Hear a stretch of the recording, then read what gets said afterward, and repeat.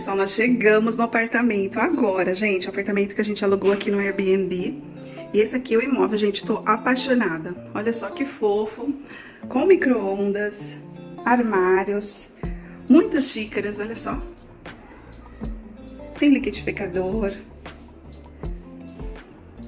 Tem uma varandinha, olha só, a varandinha. Máquina de lavar.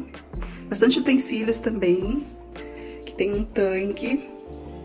Indo pra cá tem uma cozinha, gente. Olha só que cozinha linda, toda planejada. Coifa, cooktop. Gente, armários, bastante armários. Oi? Bastante armários, olha só. Utensílios de cozinha. Que legal, gente.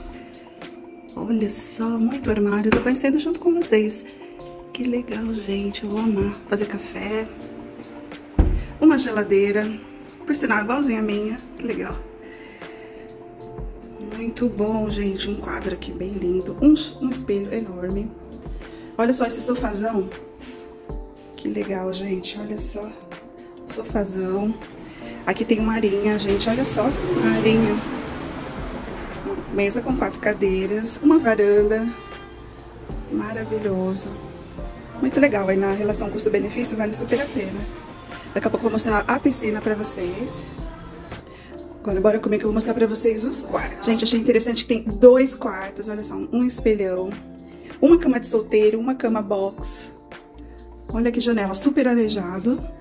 Uma TV, gente, pequena. E o bacana também é que tem dois banheiros. Esse é o primeiro banheiro. Tem um espelhão aqui na parede.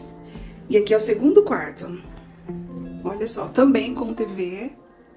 Nesse segundo quarto, a gente tem uma cama box e muito armário.